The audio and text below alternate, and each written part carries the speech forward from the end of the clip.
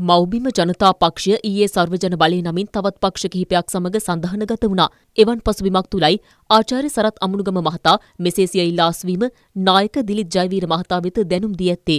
ඊයේ දිනේදී සිය ඉල්ලාස්වීම පිළිබඳ දිලිත් ජයවීර මහතා වෙත දැනුම් දී තිබෙනවා. විමල් වීරවංශ, උදය ගම්මන්පිල, වාසුදේව නානායක්කාර, ගෙවිඳු කුමාරතුංග, චන්න ජයසුමන ඇතුළු පිරිසක් මෙසේ දිලිත් ජයවීර මහතා සමග එක්ව සර්වජන බලය නමින් නව සන්ධානයක් ගොඩනැගුවා.